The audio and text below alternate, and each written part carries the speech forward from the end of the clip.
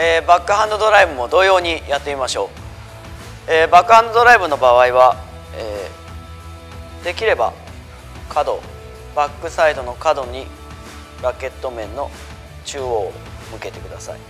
でボールのバウンドに手首を合わせにいきます。そこから、えー、親指を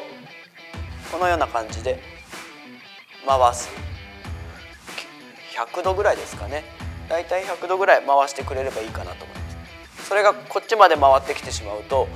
サイドに切れてしまいますのでできればここのまっすぐで終わるように気をつけてください。そして肘が横にありこの肘が横に動いてしまいますと、えー、スマッシュ感覚に変わってしまいますので肘がなるべく横に動かないように肘は支点ですのであまり動かないように気をつけてください。ではやってみます。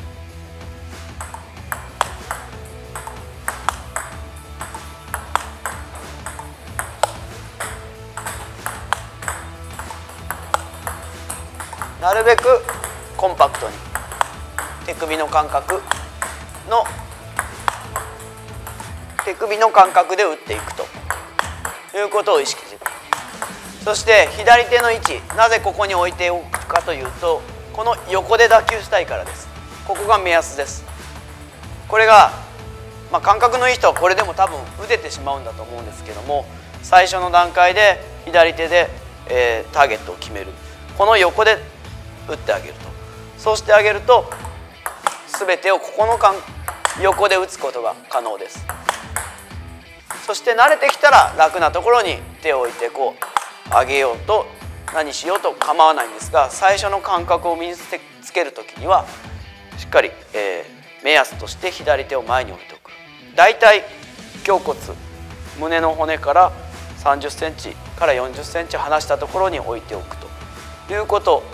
このようなことに気をつけて打ってみましょう。それではやってみます。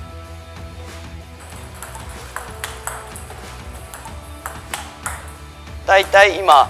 左手と、えー、ラケットが同じようなところで当てれているのでこの打球する位置のズレというものをなくすことによって